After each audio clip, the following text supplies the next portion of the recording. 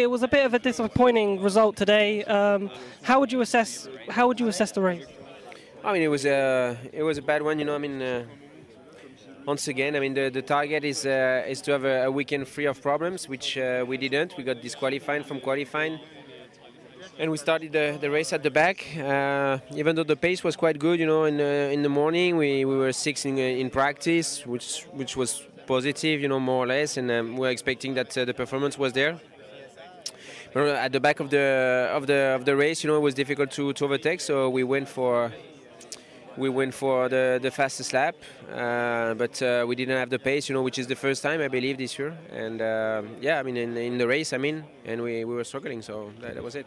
How frustrating has this season been? Because obviously, Dragon Racing last season were very competitive. They were competitive in the first season when you first arrived and this season's been a struggle. And obviously, there was a lot of you know promise. Obviously, Faraday for next year's more influence. But how of a frustrating year has this been so far? I mean, we, we, we did lose a little bit of performance compared to Renault, especially you know compared to past years. That's for sure. But for me, it's just uh, we've done five races now, and uh, I've got four problems you know in, during the race weekend out of uh, of five. So I mean, uh, I would say actually five five problems out of five races.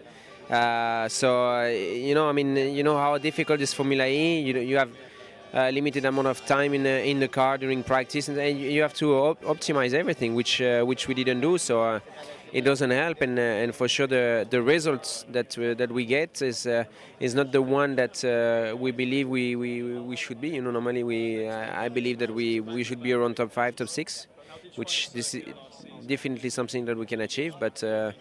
we don't do everything perfect during the, the weekend, and and we, we pay it. Thank you very much, Loïc.